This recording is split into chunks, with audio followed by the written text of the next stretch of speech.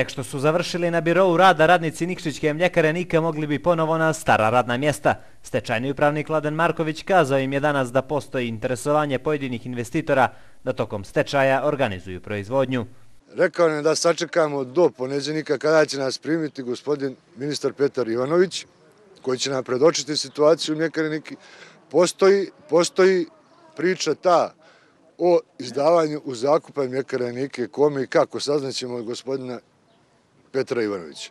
Radnici pozdravljaju ideju da ponovo rade, ali tek kada im se poveže radni staž isplate za ostale plate.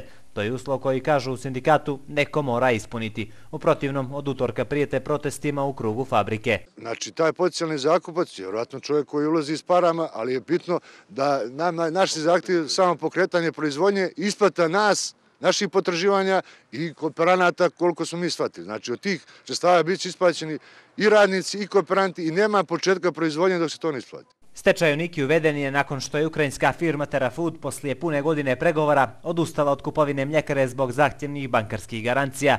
Prema podacima koje su u sindikatu danas saopštili, po osnovu nepovezanog staža i zaostalih zarada, zaposlenima se duguje preko milion eura.